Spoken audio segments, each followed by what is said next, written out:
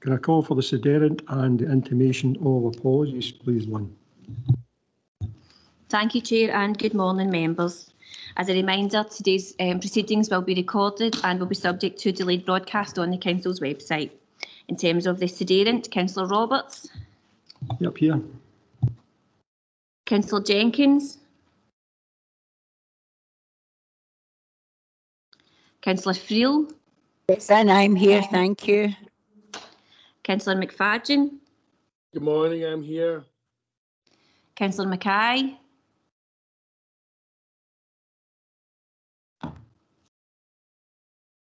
Councillor Cook, Yes, here, Lynn. Councillor Maitland, Councillor Todd,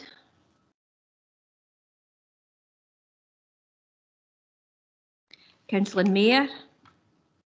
Yep. We have an apology this morning from Councillor McGee, Councillor Crawford. Yeah. We also have an apology this morning from Councillor Bell, Councillor Filson. I'll call again for Councillor Jenkins. Councillor Mackay. Councillor Maitland. Councillor Todd.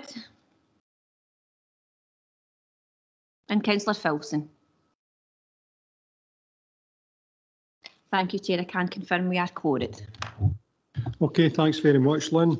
Okay, members, at this point, uh, declarations of interest. Any declaration of interest that you may have in relation to any of the applications, can you declare that a declaration of interest at this moment in time and expand on what the nature of that interest is, please? Any declarations? Nope, I'm not seeing any any hands. Okay, okay. Um, next item is the hearing procedure. It's there on pages three and four. Lynn, can you give a summary, please? Thank you, Chair. The hearing will begin with the head of with the Chief Governance Officer or his representative giving an overview of the application. The objectors will then present their objections to the committee and members will have the opportunity to ask questions on the submissions made. Members, please note that this is not to be taken as an opportunity to comment on the merits or otherwise of the planning application. The applicant and or their agent will speak in support of the application and members will have the opportunity to ask questions. Again, members, please note that this is not to be taken as an opportunity to comment on the merits or otherwise of the planning application. At this stage, the hearing will then close. Officers um, uh, today will give appropriate clarification on any matters which have been raised during the hearing and members will then move to determination. Thank you, Chair. Okay, thanks for that, Lynn. Okay, on to business proper. The first one is planning application number 210767PP.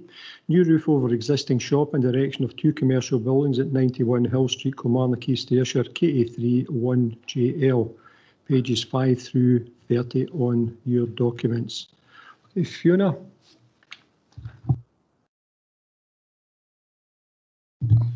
Uh, good morning, everybody, and thank you very much, Chair. The purpose of this report is to present for determination an application for planning permission to be considered by the Planning Committee under the scheme of delegation because it is subject to more than 10 separate objections, notwithstanding that it is a local development.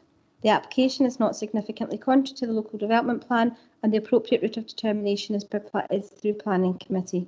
The application site is relatively central within Kilmarnock.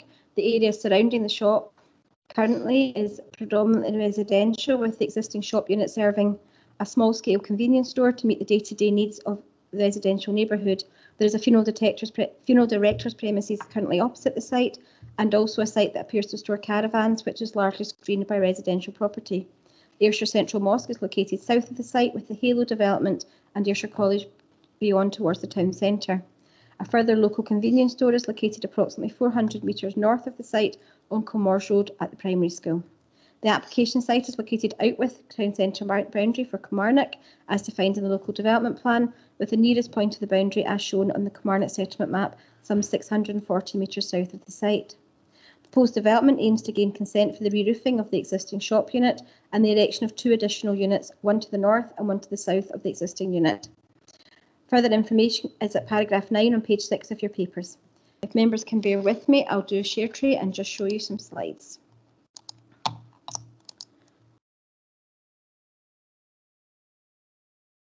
Okay, hopefully everyone can see that. I'll just use the cursor to try and show you around a bit.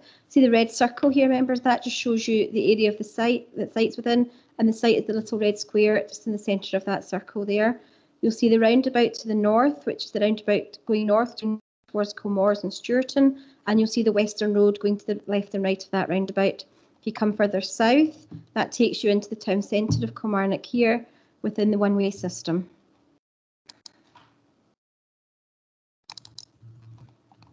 Okay, here we have a location plan that's been submitted by the applicant.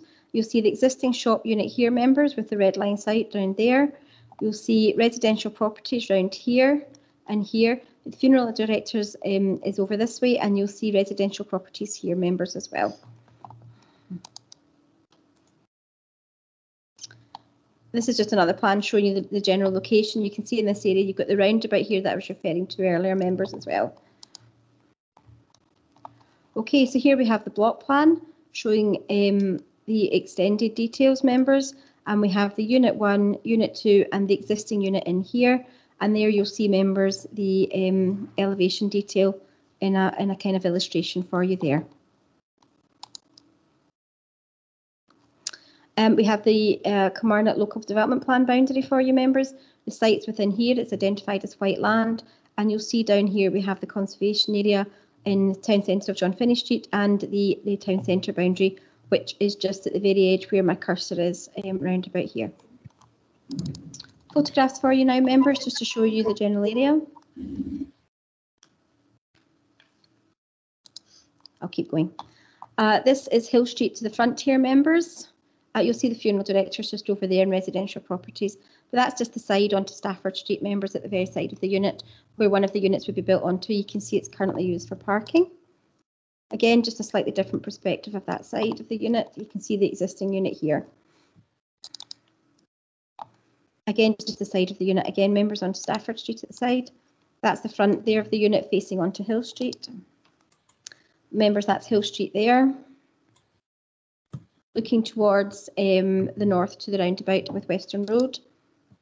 Uh, there's the area of um, open space that's referred to members in the um, documentation, and that's where one of the other units, the other unit would be built onto, to that side. You can just see the junction there with the residential estate that this takes you in.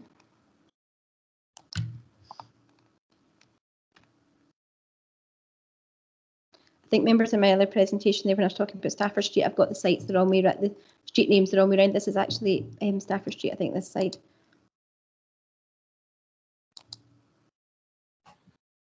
Just some more pictures for you members to show you the layout.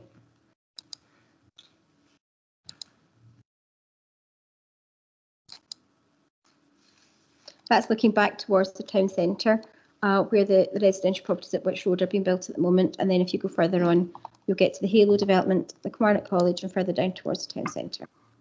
This is the residential estate opposite.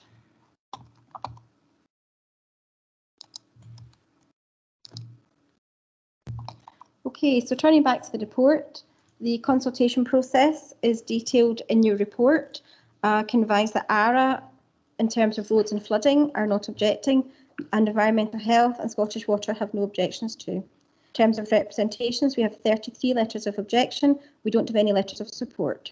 The objection letters are summarised starting at paragraph 19 on page 9, including concerns such as land ownership matters, service of neighbour notification, shops neither being wanted or needed, concerns with road congestion, parking, pedestrian safety, empty units in the town centre where the site would be better located, and the proposal conflicting with the town centre strategy and the, the council's commitment to the town centre. There are already shops in the local area and queries regarding proposed uses. All points are responded to in the report, and obviously I would advise members that land ownership and evaluation of property are not material planning considerations. Section 25 and 37.2 of the Town and Country Planning Scotland Act as amended requires that planning applications be determined in accordance with the development plan unless material considerations indicate otherwise. For the purpose of this application, the, app, the development plan, a relevant part of the development plan is the adopted East Ayrshire Local Development Plan of 2017. And that contains the relevant policies to the application. Proposed development is out with Kilmarnock Town Centre. Whilst the plans state that the new units will be used for mixed-use light commercial properties, the agent has confirmed that Unit 1 is proposed as a hairdresser's or pharmacy and Unit 2 would be a barber's. Under the Town and Country Planning Use Classes Order, both units would fall within Class 1 shops. Proposed units are therefore considered to be footfall generating uses under Table 4 of the Local Development Plan and should be directed to the town centre location. In this instance, there's no sequential test or other supporting statement provided to justify the development in this location, and it's not been conclusively shown that there are no vacant units, alternative vacant units of size and style available in the town centre that could accommodate the proposal. The development also uses an area of small, small area of open space to the north of the existing unit, and this open space, whilst not safeguarded in the local development plan, is enclosed by a hybrid wall and railings with gated access. Whilst the open space is not large and is not used for recreational purposes, it does form a, gate, a gateway feature into Stafford Street residential estate. Development of this open space has the potential to detrimentally affect the character and appearance of the residential estate by removing a portion of the open space from the streetscape. Whilst the size and scale of the re-roofing of the existing unit is relatively minor and on its own would likely to be acceptable, as the proposal includes the development of the two additional units, proposal is required to show compliance with CE TC2 or TC and TC3, which has failed to do so. The representations raised some valid material considerations which overall would support refusal of the application as detailed in the report. Therefore, we would recommend refusal of the application for the reasons stated in Appendix 1 of your report, or starting at page 27 of your papers, as the application is contrary to policies Res 11, TC2 and TC3, and as a consequence is contrary to overarching policy OP1, subsections 1, 2 and 8 of the East Ayrshire Local Development Plan. Having considered all the relevant matters, such as material considerations highlighted in the report, including the tilted balance requirements set out in SPP, there are none that would warrant refuse approval of the application to outweigh the provisions of the development plan. Back to you, Chair. Okay, thanks very much for that, Fiona. Um, members, we do have a hearing this morning. We've got two objectors wishing to speak. Um, we have Mr Graham Wallace. Graham, um, would you like to come forward and Robert will show you where you can your representation from. Okay, members, I'm proposing uh, five minutes for Graham. Is that okay?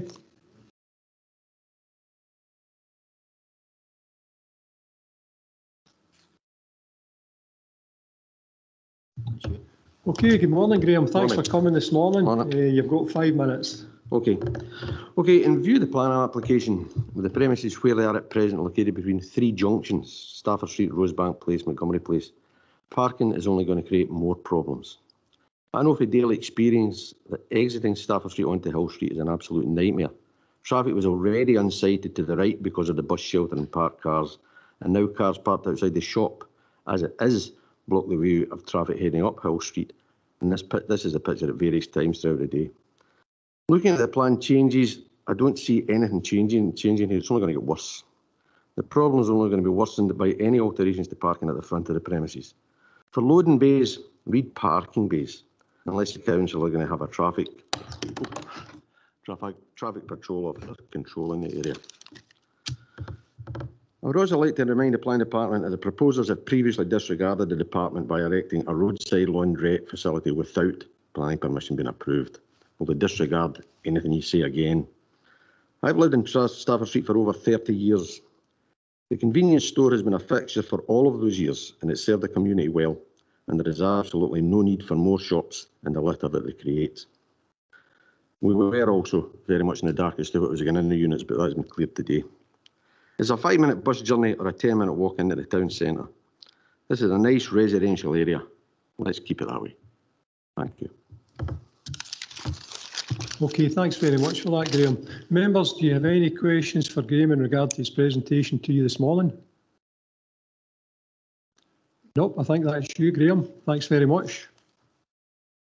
Um, we have got Ms Caroline, Caroline Hanby. Me included. Okay, good morning. Uh, Caroline. Caroline, good morning, Caroline. Thanks for coming and members, I'm proposing five minutes for Caroline. No need that. Just, Okay, um, I have lived in this estate since I was five. I moved from number 10 to number one. I've been raised in that estate. I've raised my children in that estate. And we're now being told that the area next to my house has never been used for recreational use, we lost a substantial amount of green space for the development that went on that used to be the old Campbellton Drive. So a lot of the area that children played in was removed from us. And now they're proposing that again. I'm going to lose half of the ground next to my house. My children playing that. The kids, the majority of the kids in the estate, they play football in there. At some point, I've debated putting my trampoline in there to give me a bit more space in my garden. My kids play in there with my dogs on a daily basis. And that's now going to be removed, something that's been maintained and used by the estate for 30 odd years. It's just, it, it, obviously, it's quite a sore point. Um, as for the shop, we have enough local amenities. We don't need anything else. Anything that's the elderly and infirm would need can be picked up in that shop.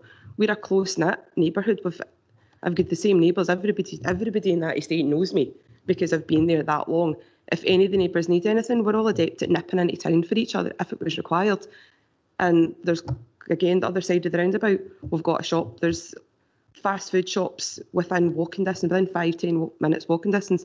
We've got how many apps online that you can order groceries, you can order whatever you need.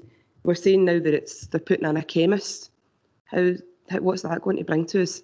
There's a chemist round the corner. There's a chemist on Dean Street.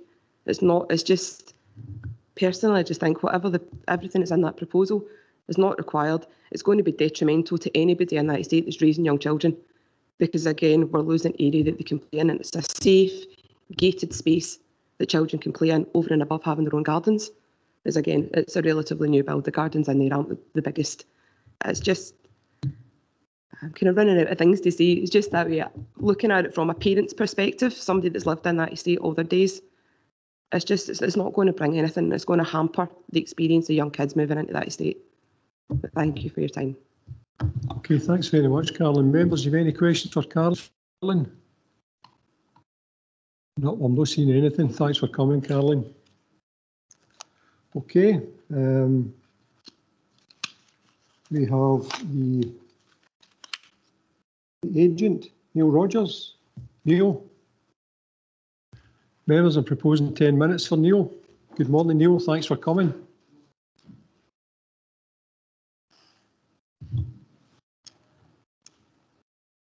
Morning.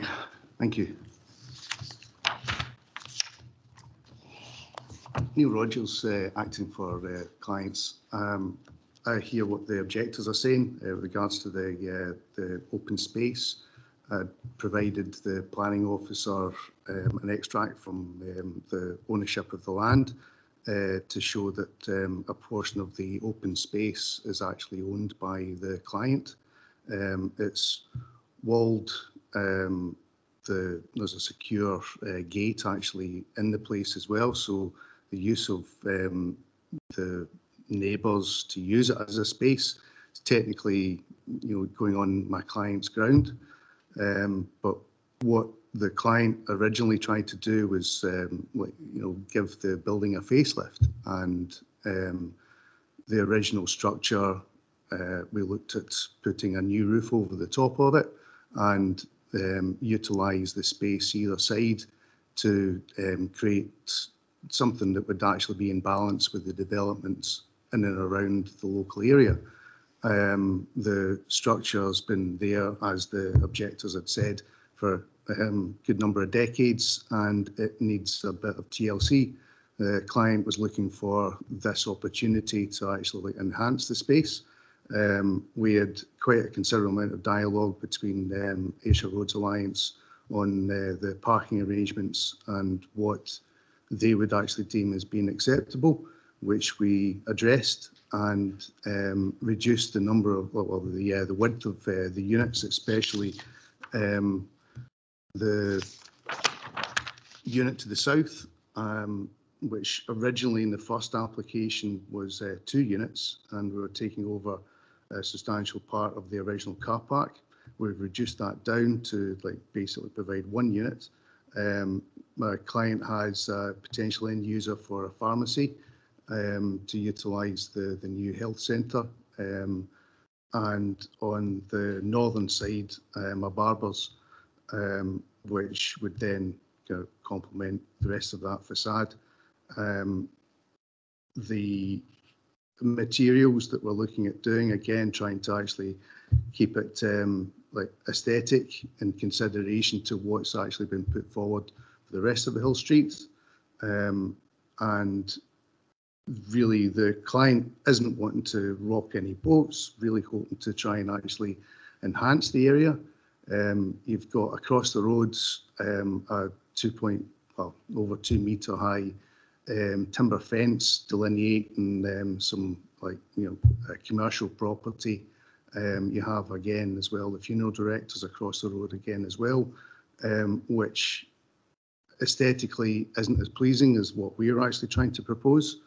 Um, so in, in, in that light, the proposals that we're putting forward would be advantageous for the rest of the, I mean, if we kept it just the way it is, then um, obviously it's going to be a bit of an eyesore in comparison to what's actually been proposed for the, the rest of Hill Street.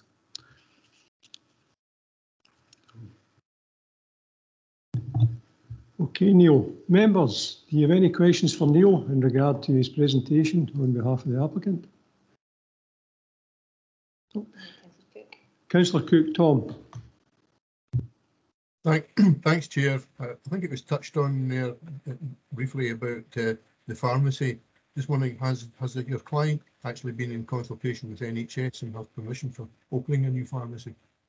No, it's in, it, it would be uh, based upon like whether or not it would be, uh, you know, achieve planning approval for it first before that dialogue was uh, carried further. Okay, no, thank you for doing that. Okay, Neil, a couple of couple of questions from me. Um, in paragraph 23, um, the mention of the sequential test has been mentioned. Can you tell us why you didn't do any sequential test? Because in paragraph 23, uh, page 14, just below halfway down the page, as detailed above, no supporting statement, sequential tests have been provided to show alternative units being si- considered or to show there is lack of units of this size and type within the town centre. As there has been no supporting details provided, it cannot be determined that the development will not adversely impact upon the vitality and viability of the town centre. So we're back to the sequential test. Well, um, clients don't own any of the other, the clients don't, clients don't own any of the, um, like, you know, properties other than the area that they've got here to develop. Um, there's, um, again, walking distance from the town centre um, and other local amenities. Um, the the need for like taking that test um, wasn't entertained by the client.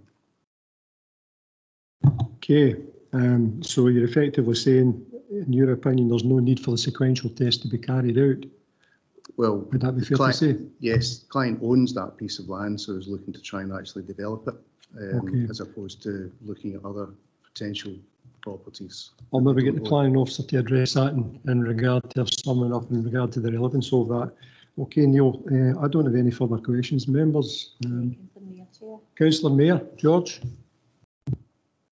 Thanks, Chair. I was just wondering about the the piece of ground that the, the kids play on, etc. Uh, can you tell us if your client maintain that ground or does someone else cut the grass, etc.? I believe it's actually the council that cut the grass. It's actually, can I interject? Yeah. Sorry, um, when the estate was built, there was an. alien- Sorry, yeah, you, you can't come in. No, no, you can't come in. I'll get the planning officer to clarify that point, you know, in a, a summing up. Okay, Neil, do you want to uh, further expand on what your answer was? The, like, I, I, I'm, my client does not maintain that piece of ground, um, in terms of like cutting the grass. Um, it's, there's no physical, physical line, uh, no physical boundary, um, from what my client actually owns and what the, um, the, the surrounding area, um, is owned and maintained by. Um, the grass in question is like part and parcel of that kind of like area. Um, but the area is actually still owned by um, my client. It's a, it's a strange boundary, I agree, but um, that's why my client was looking to try and actually, you know, utilise the space that's um, that, that, that's in their mind not actually used. Okay, and I think, uh, I think the land ownership, it's already in the report, it's, it's not a relevant point. you know, in terms of the planning process. Members, any further questions? Councillor Mair, do you have a follow-up question? George? Nope, okay. Nobody else? Nobody else? Okay, right, Neil, I think that's you. I don't see any, any other hands raised. Thank you. Thanks for coming this morning.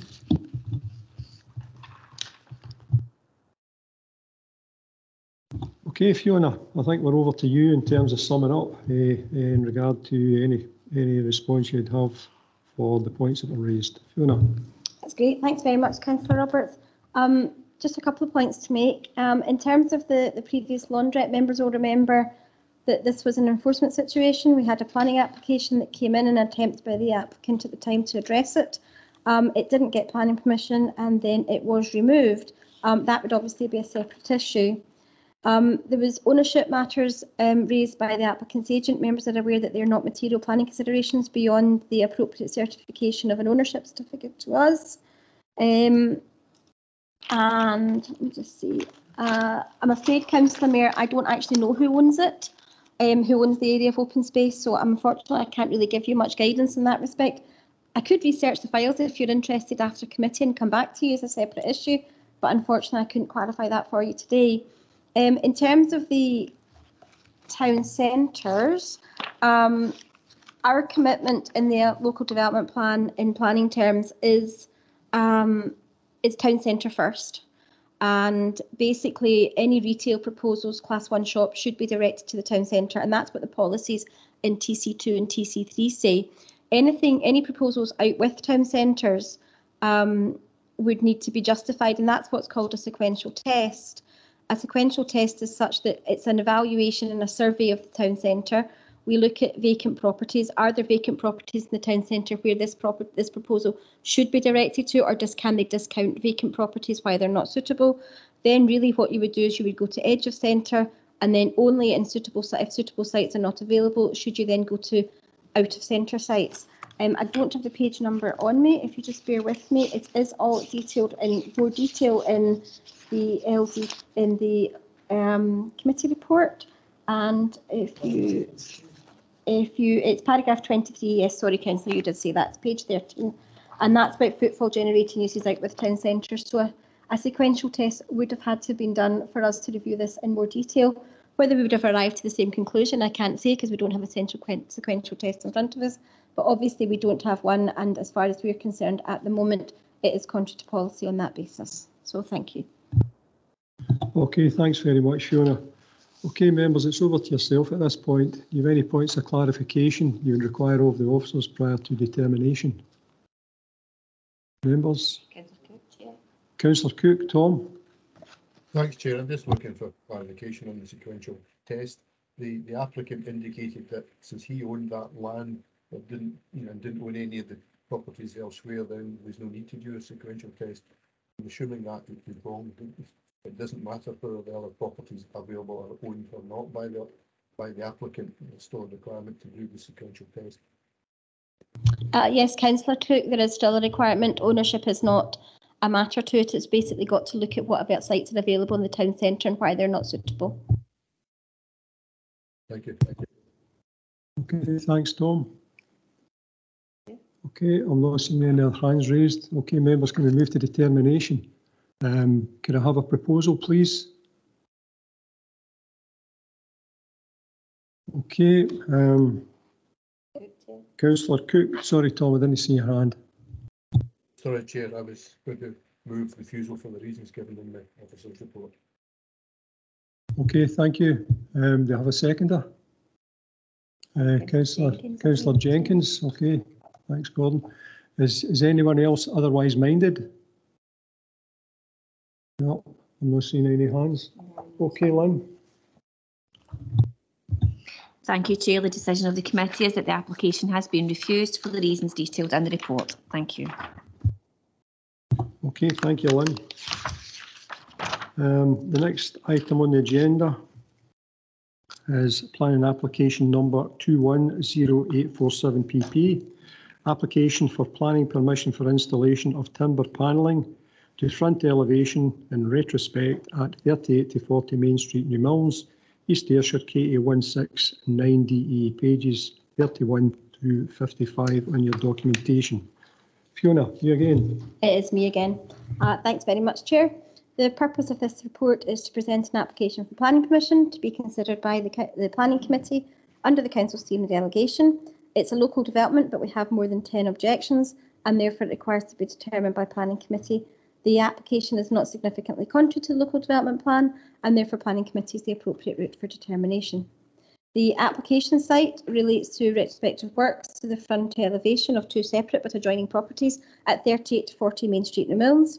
Planning application has been submitted by the occupants of the upper floor of the building at number 40 and it functions as a residential flatted dwelling. The planning, a planning application was previously approved at this planning committee on the 8th of February 2019 for a change of use of shop to residential flat and associated external alterations at the ground floor of this building at number 38 and that was partly retrospective. The application site and property is located within the settlement boundary and within the town centre boundary of Newmilns as detailed in the local development plan and the application site is also within the Newmilns conservation area. Um, I would also refer members to the background dating at starting at paragraph 10 on page 32 and note that the application is in retrospect in part. In um, application is in retrospect. In addition to the approved works um, that have already taken under the previous application, six timber panels have been installed to the front elevation of the building to frame the fenestration and the door. The timber panels have been installed where parts of the shopfront were intended to have a sandstone finish in order to tidy up the front elevation, and these unauthorised works form the basis of this application. Proposed works refer to the installation of a light oak Stradwood panels to the front elevation of the building and affect number 38 and 40 at this two-storey building. For clarity and following dialogue with the applicant's agent, it's been confirmed that the left side and upper panels attached to number 40 and the right side panels attached to number 38 Main Street in legal terms. So just turning to the screens again, hopefully I'll manage to share my tray.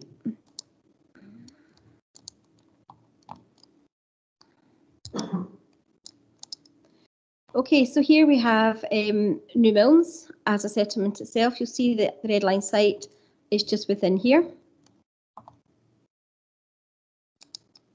Here we have the plans that have been submitted by the applicants. You'll see the property is referred to there, outlined in red. You'll see the former front elevation as it was prior to the consent previously being implemented. And you'll see the elevation here um, with the timber panels just surrounding the property there. It'll be more clearly shown when I show you the pictures, members, in a sec, and you'll be able to see that. Here's the local development plan map. So you can see the blue dotted line is the town centre boundary and the red line is the conservation area boundary. So this is an extract before the conversion works were undertaken and that dates as a Google image, as you can see in the highlight, and that's from 2016. Here's the site here, members. There's the upstairs property, and here's the downstairs property at number 38. Here is works ongoing from the, the approved planning consent from 20, 2018.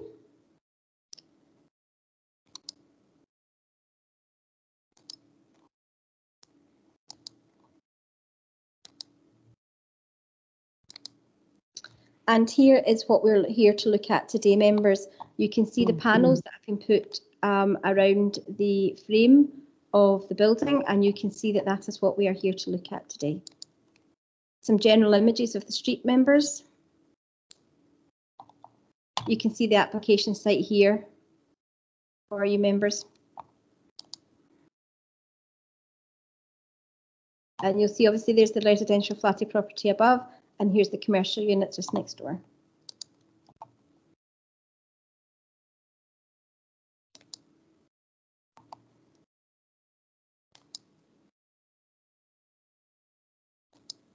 Just a little bit more detail and close-up members to you now.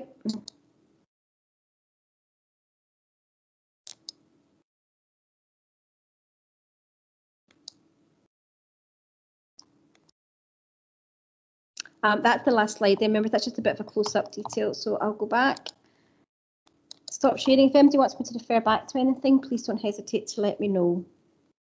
In terms of consultation responses, we have a recommendation from the Development Planning CARS team, Project Regeneration team, that the application be refused on the basis that the works are totally inappropriate to the conservation area, and we have no consultation response from the Community Council. We have 22 individual representations objecting to the application that have been received, and there are 23 letters of support or letters neutral to the proposal. All points are summarised in the report starting at page 33. The objections raise a range of issues and focus on the inappropriate design and finish of the panels within the conservation area for a residential property, the scale and detailing of the works being an eyesore, and the negative effect on the town centre's appearance. The letters of support refer to the upgrading works having made a difference to the previous look of the property, the works being beneficial to neighbours and the appearance, and the wood panelling being complementary to the shops on Main Street. A further letter of support has been submitted by the developer responsible for the panels at page 35 of your report relative to the reasons for the work and how the developer believes that the property still has a commercial status.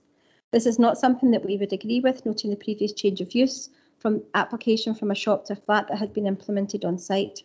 All points raised by the developer are fully responded to in the report. Sections 25 and 37.2 of the Town and Country Planning Scotland Act 97 as amended require that planning applications be determined in accordance with the development plan unless material considerations indicate otherwise. In this instance, the adopted, East Ayrshire Local Development Plan is a relevant policy document. The retrospective proposal for the in- installation of the timber panelling is considered to be contrary to the East Ayrshire Local Development Plan policies OP1 and particular and in specifically in terms of OP1 parts 1, 3 and 5, policy E ENV1 and policy E ENV3. It is further discouraged by the key aims of the spatial strategy to promote high quality sustainable development, ensuring that development is of the highest quality design. The development does not contribute positively to the area, making the area concerned a successful place. The elevation does not enhance the character and amenity of the area and does not protect and enhance the built heritage designations. Whilst an explanation of the requirement for the retrospective works has been provided, this attempt to address the matter isn't satisfactory and there are no material considerations in the afford, in the aforementioned representation to suggest an approval of these retrospective works. The application is contrary to policies E ENV1 and ENV3 of the local development plan, which rel- relate to listed buildings and conservation areas. With regards to the material considerations, the representations do raise valid material considerations that would support a recommendation of refusal. There are no points raised in the supporting letter that would support the granting of, of permission in this respect. With regards to the impact on the visual and residential amenity of the area, the panelling in the building front frontage is considered to be unsympathetic and incompatible with the location, and its general design arrangement and presence significantly detracts from the building. The importance of protecting the character and appearance of conservation areas and setting of listed buildings is set out in Scottish planning policy, with the significance of setting being carried through to historic environment policy, both of which are significant material considerations and both of those support refusal of the works. The presumption in favour of development that contributes to sustainable development from SPP carries no weight, as this is not considered to be sustainable development, and adverse impacts will consider, con- significantly and demonstrably outweigh any benefits it may have. Therefore, we're recommending refusal of the application for the reasons stated in Appendix 1 of your report on page 53 of your papers. Back to yourself, Chair. Okay, thanks very much for your report, Fiona. Okay, members, there's no hearing this morning, so it's over to yourself uh, in regard to any clarification you require from the planning, the planning officer.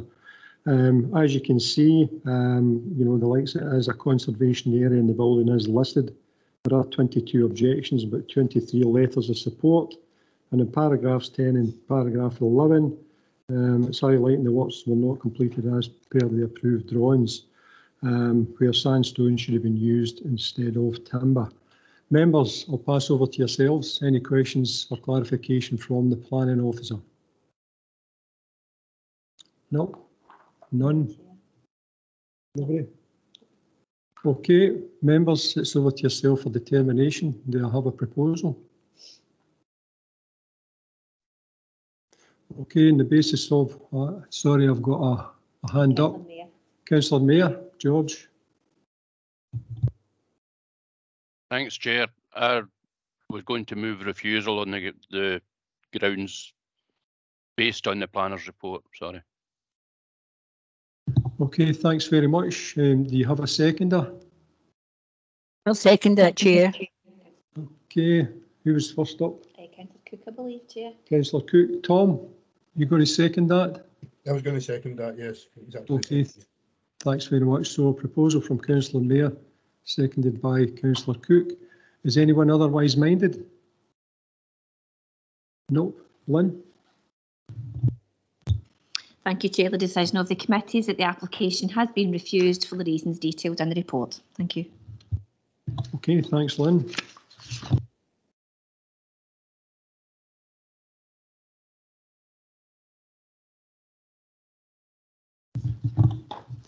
Okay, on to the next item. Is planning application number 210864 PP.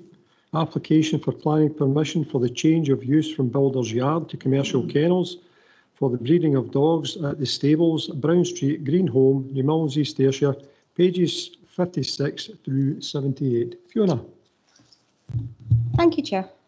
Um, purpose of this report is to present planning application to be considered by planning committee under the scheme of delegation. It's a local development with more than 10 objections and requires to be determined at planning committee.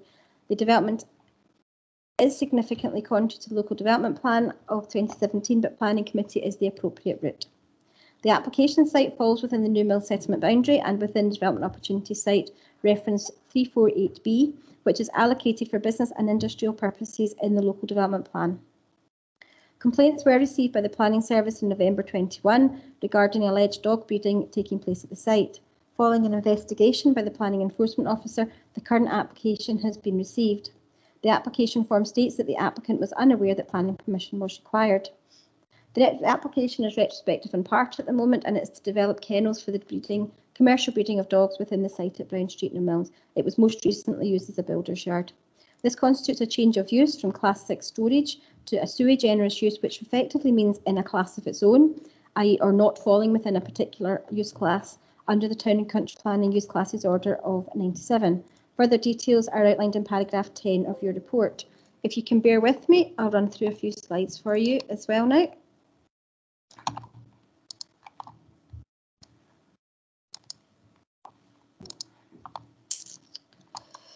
Okay, hopefully you can all see that.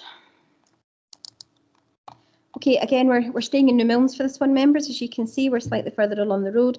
We're down at Brown Street here now, members, and you can see the red circle and the red line site there. This is a little location plan just showing you the site itself, members. Um, you can see that the access there of, of Brown Street there, and you can see the site in there. And you can see some factories and works roundabout members um, and industrial type of buildings. You can also see just across the River Irvine, we've referred to in the report, this is Queen's Crescent, which is the nearest residential properties uh, to the proposal just across the riverbank, the river there. Uh, we have a layout here, members.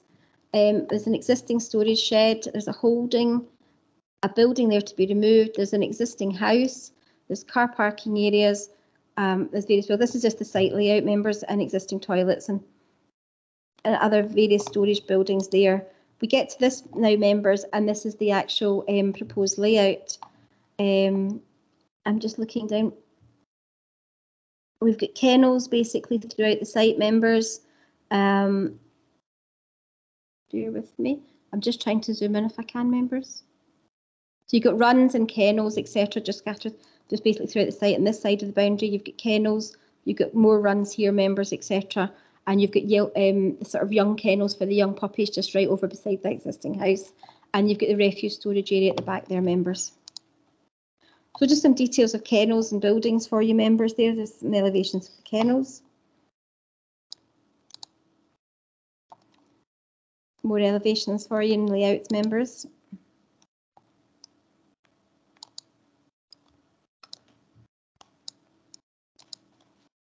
Uh, this is just the um, local development plan uh, map that goes with LDP1 and that just shows you the location of the site is within the, the purple area there members and that is the area that is safeguarded for um, industrial and business purposes in the local development plan. Here's the entrance into the site.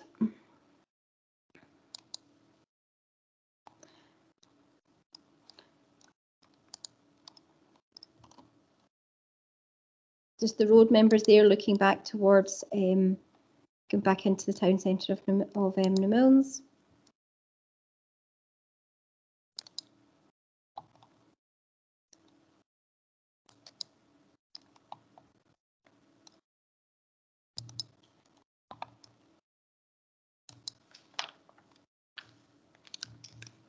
Various aspects throughout the site with some of the kennels and small areas of outside space.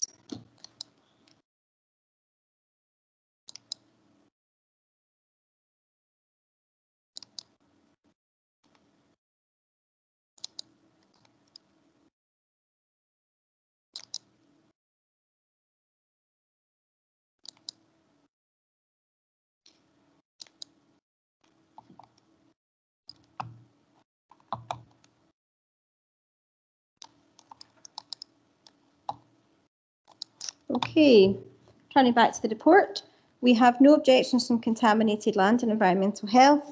We have um, no objections from ARA roads, ARA flooding and Scottish water.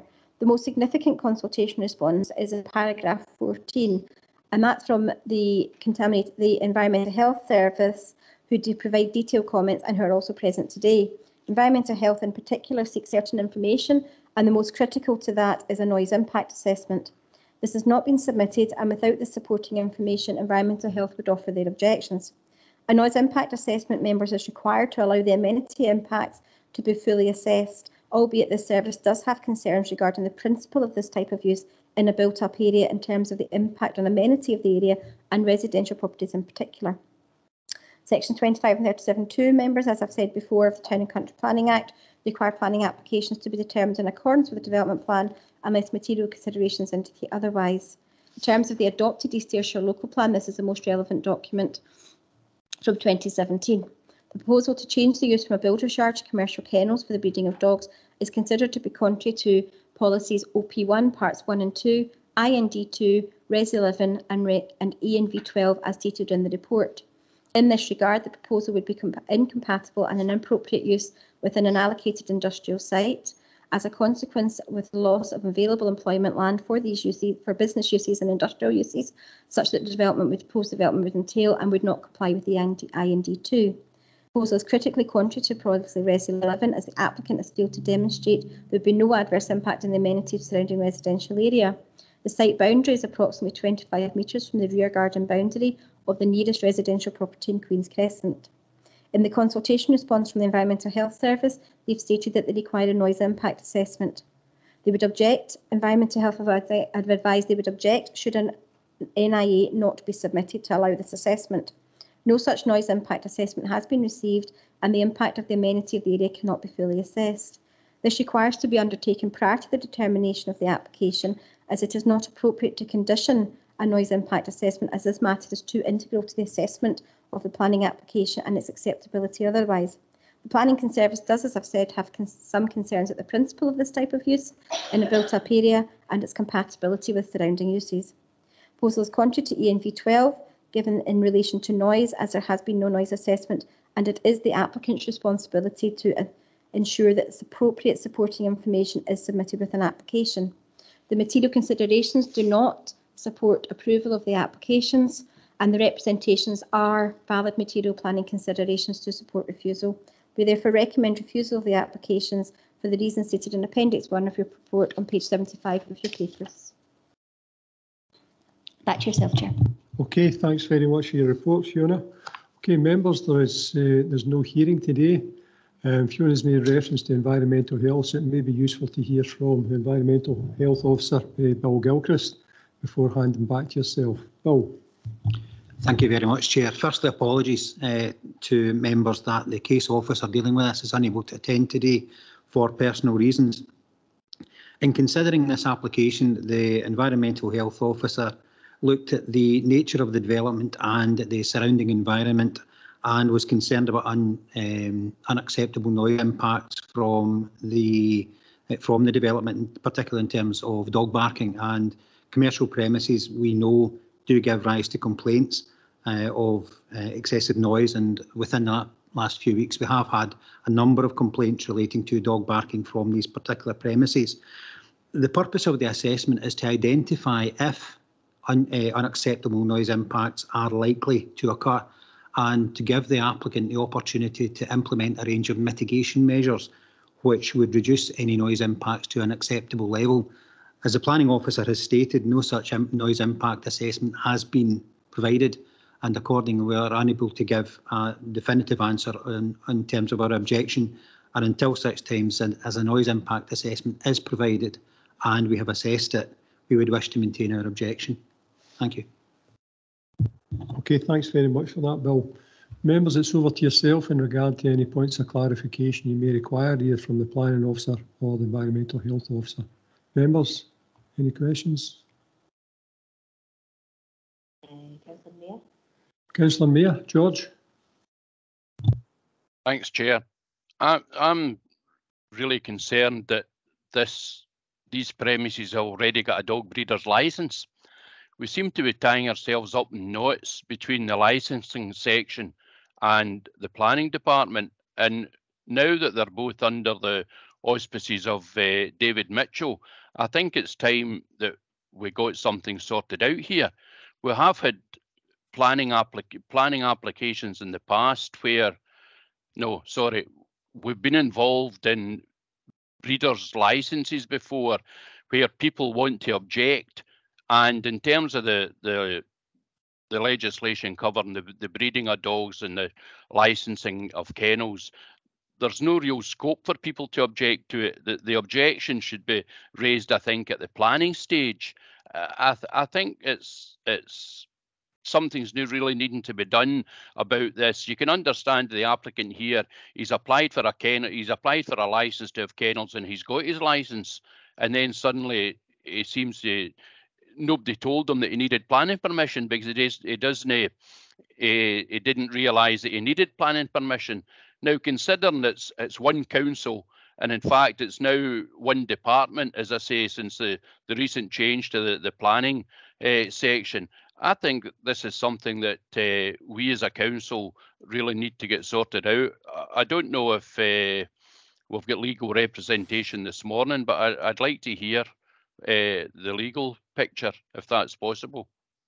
Thank you. I think you make I think you make a fair and relevant point. We do have uh, legal representation here.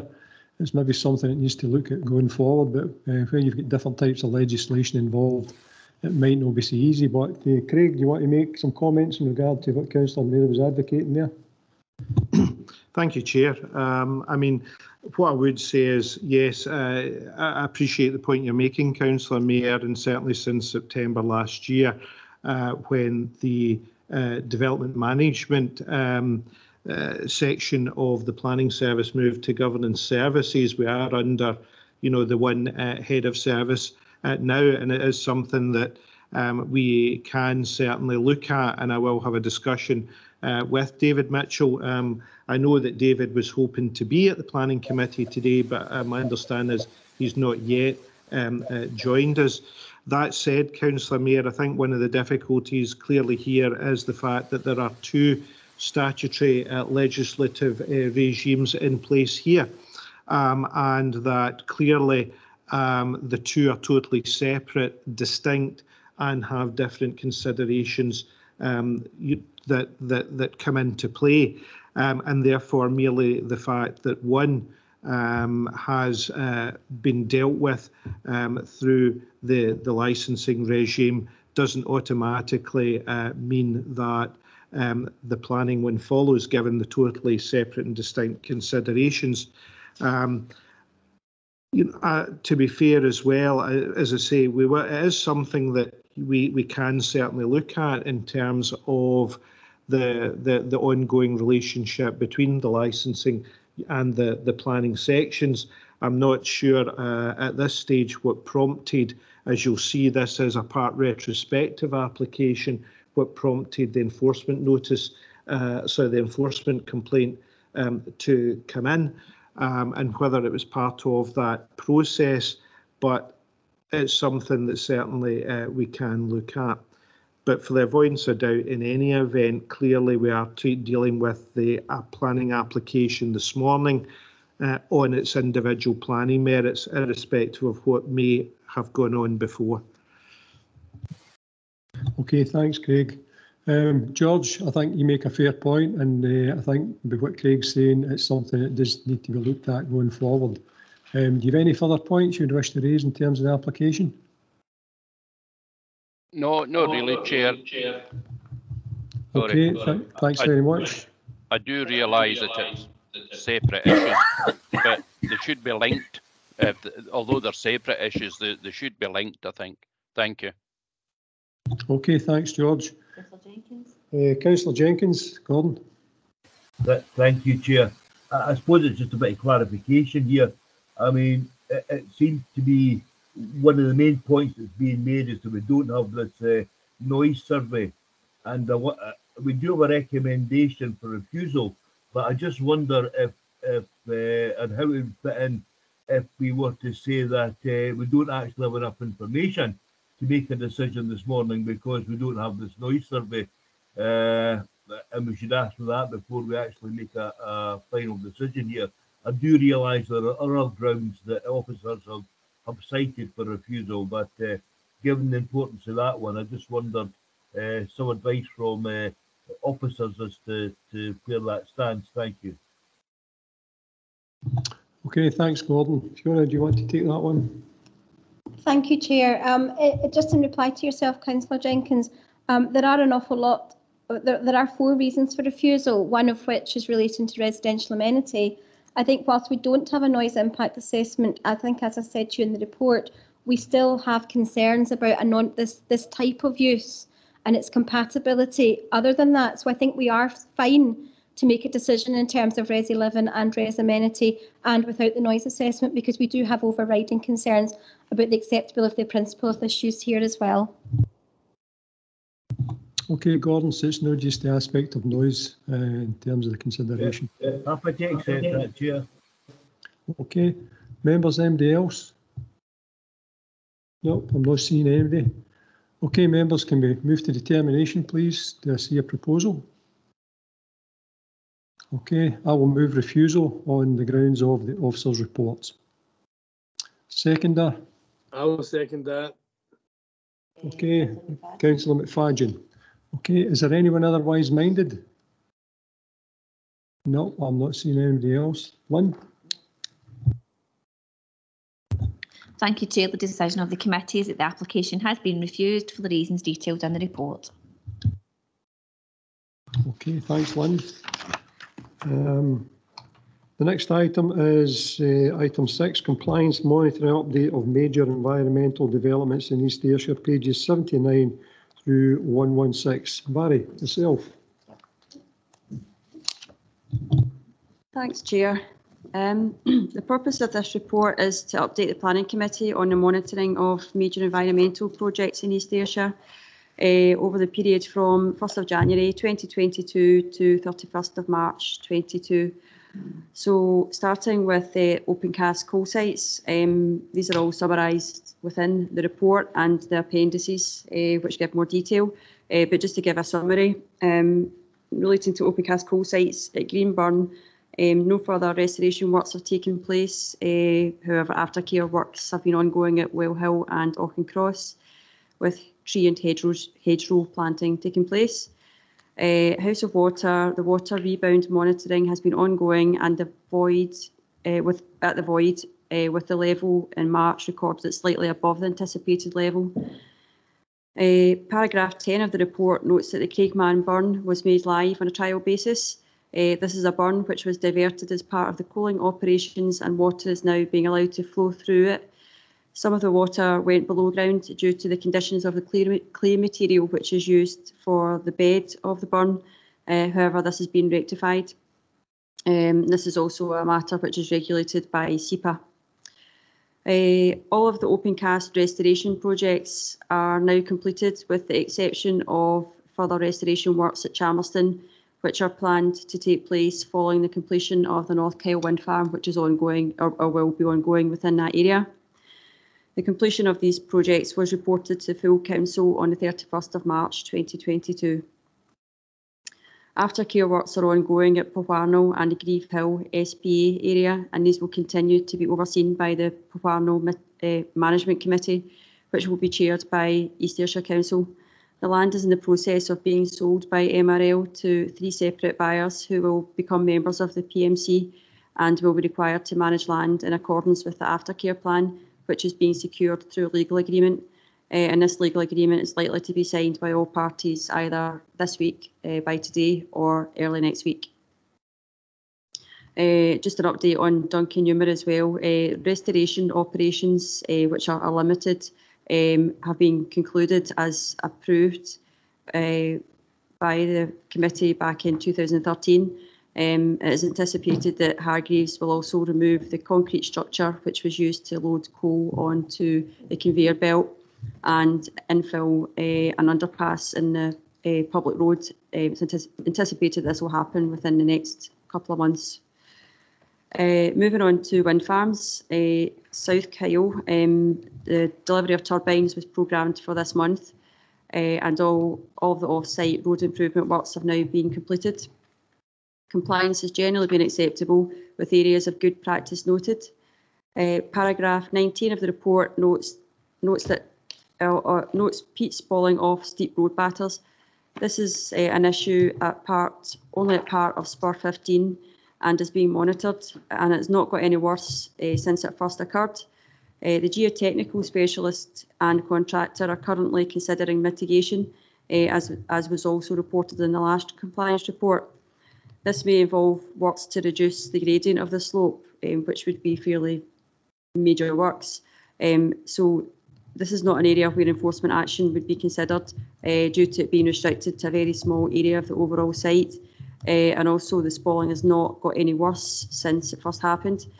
Uh, we know that the developer is considering options to mitigate for this and is keen to ensure that they get it right first time rather than do a patch up job um, and then have to go in again later.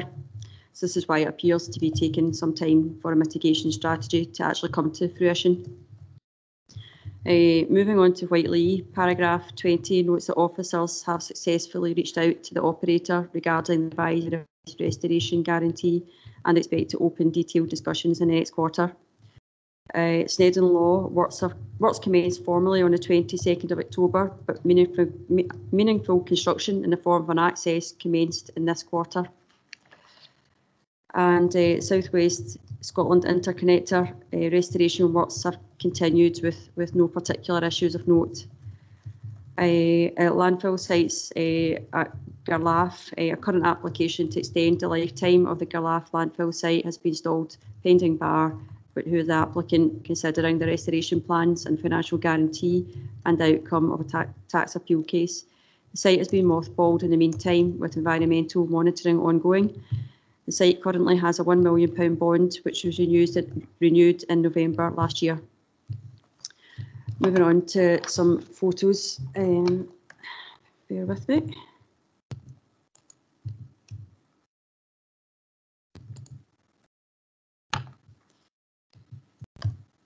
Okay,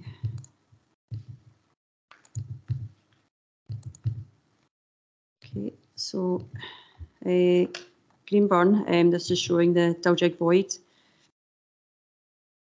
Uh, House of Water, um, this is showing some of the rebound water which has um, appeared in areas close to the River Nith. Uh, and this is being um, um, diverted through ditches uh, into vegetation before entering into the, Nith. Uh, this is a House of Water void where the rebound levels are also being monitored. And this is Garlaff and Grieve Hill. I think some slides have previously been shown of this uh, for the completion report, but um, we'll just run through them quickly anyway, um, showing the before and after images. Uh, so this is May 2020, afterwards uh, October 2021 and Garlaff and Peat Cell uh, in January 20, 2017 and after. And a workshop area in 2013 and after. Uh, Grieve Hill Void in 2017 and after in September last year. Uh, moving on to South Kyle, uh, just to run through some slides fairly quickly.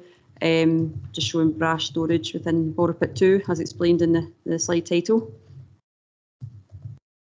I'll just run through them without much explanation.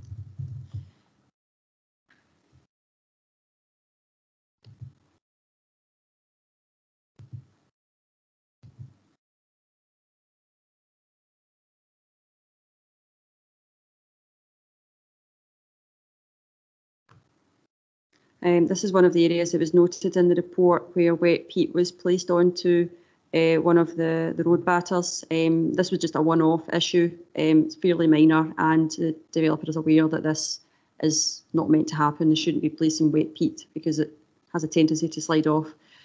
Um, so that's we're, we're happy that's being rectified as it should be.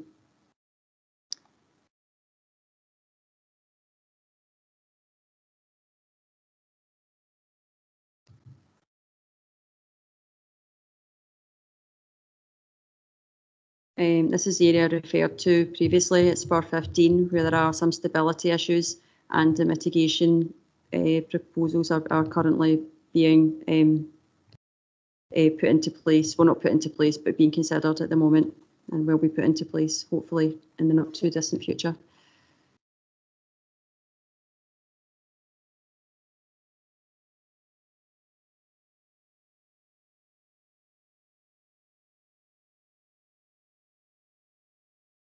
And moving on to Southwest Scotland Renewable Connections Project. Again, I'll just run through these slides and you can see the description in the title.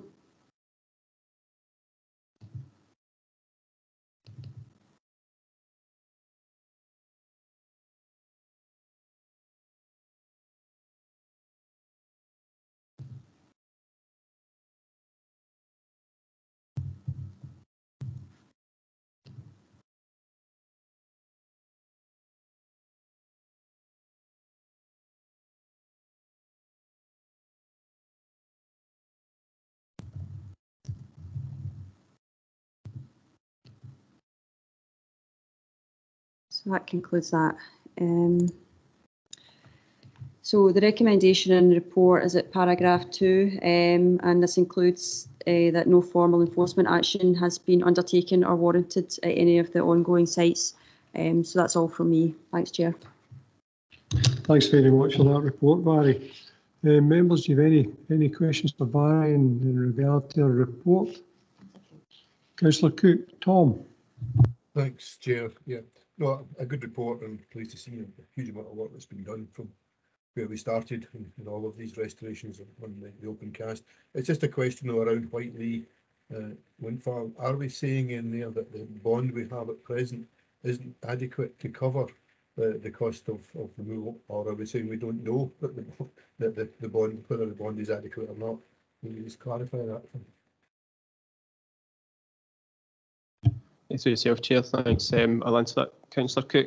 Um, it's we have a substantial bond in place, um, and it was evaluated by our independent um, experts, um, and we are expecting that to be uh, topped up. So at the moment, it is less um, than the, the total restoration value.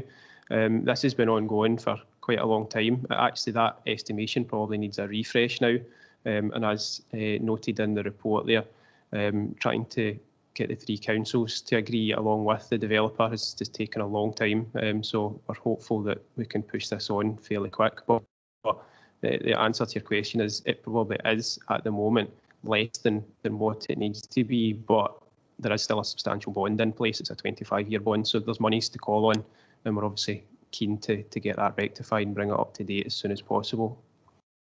Yeah, thanks. uh, I think it is important that we keep that going, we make sure that we are properly covered. Going, going back in time, I think we know the issues that can arise. No, fair point, Tom. Lessons learned for the past. Members, anybody else? No, just a couple of points from me, um, Barry.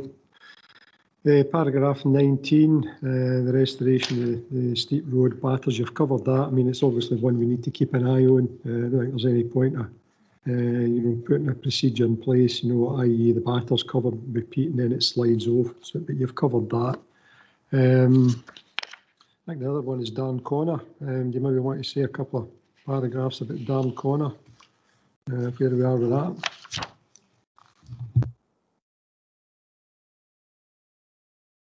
In relation to the landfill, the legal landfill site, um, I don't know whether Craig might want to come in as well, but um, there is an uh, appeal at the moment which has been was sisted by the Scottish Government. I understand that that might now have been unsisted, uh, but we haven't had any further instruction in relation to that, so we're just awaiting something more from the Scottish Government. But Craig, I think, might want to come in. Thanks, Larry. Craig? Thank you, Chair. Um, the, the position here is, as you'll remember, um, a few years ago now, um, enforcement notice uh, enforcement notices were served. They were appealed by um, uh, uh, two of the, the, the local landowners. Um, uh, and as a consequence, um, shortly thereafter, the matter uh, went to the, the, the DPEA uh, with a reporter being appointed. However, um, the the appeals themselves were were sisted um, at uh, SEPA's, um, given SEPA's involvement in this um, and given um, the potential um, for um, criminal investigations or, or prosecutions in relation to the, the, the, the activity that going on on the, on the site. The position at the moment is that um, we are currently clarifying with the, the, the DPEA whether or not the report is now uh, in a position to move the appeals forward. The main reason being that certainly um, my recollection is uh, last month um, uh, the reporter was written to um, by all parties um, to the appeal to express their view in matters. From our perspective, we did indicate initially that we were looking for this matter to uh, move forward. Um, however, uh, we are aware that uh, that position may not be the position that SEPA uh, have indicated, and therefore we have sought clarification from the reporter as to whether or not it is uh, his his position is that the, the appeals should remain um, sisted or not. Notwithstanding that, I'm aware obviously that there are um, some water courses up there. My understanding is that uh, SEPA continue to monitor, monitor them meantime to ensure that uh, there is nothing untoward uh, that, that could potentially um, affect those water courses um, in terms of their um, role and, and remit meantime anyway. So there is monitoring taking place at that location. Okay, thanks for that, that update, Craig. That's that's very useful. Okay, members, I'm not seeing any further hands. Um, the recommendations are there for you. They're all for noting. Um, are you happy to note in the context of this report? Okay, thanks very much, members. Um, and last on the agenda is uh, the update report and progress of planning applications which have been recommended for approval, which are subject to the conclusion of an appropriate legal agreement and or legacy planning applications in East Ayrshire, pages 117 through 126. David. Okay, thanks, Chair. Um, purpose of this report is just to update members um, on planning applications which have been recommended for approval subject to a legal agreement um, and also any legacy applications that are one year from the date of validation. Um, this uh, report covers the period January to March 2022 inclusive. Um, there are two tables um, at the back of the report which detail each of the individual applications um, with an overview in the report. Um, the key points um, from the report itself um, just noting from table one that there are seven uh, planning applications um, that have been approved by committee or a delegated officer uh, subject to the conclusion of a legal agreement and they have not been concluded yet. Um, that's two fewer uh, than the last reporting period and no new applications have been added to that. Um, the table details um, that six of the seven uh, applications are over the six months since consideration, um, but they are progressing well in a positive manner um, with the recommendations that we continue on um, those processes to try and reach conclusion. Um, the exception is one application is currently on hold at the request of the applicant um, and officers are agreeable to that. That's in relation to the Garlaff site. Um, turning now to legacy applications, that's table two. Um, these, as I said, relate to any applications that have been in for more than a year since validation. Um, the table states that there are 13 uh, legacy applications currently under consideration.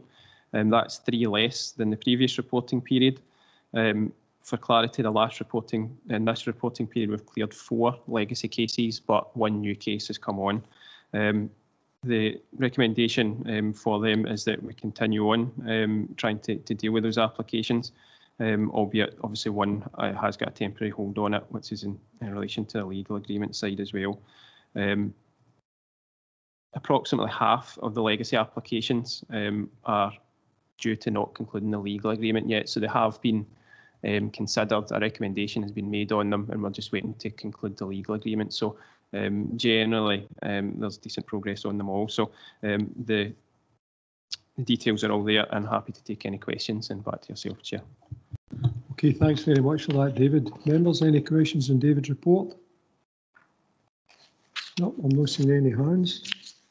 Um, okay, the, uh, recommendations are there before you. There are three recommendations, all for noting. Are you happy to?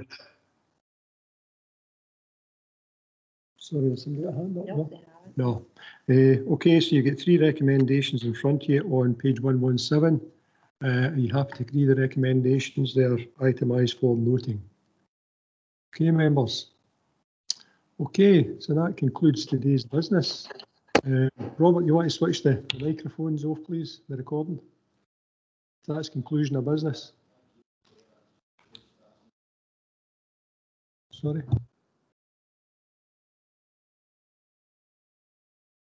Okay, IT, if you're listening in, can you switch off the recording, please?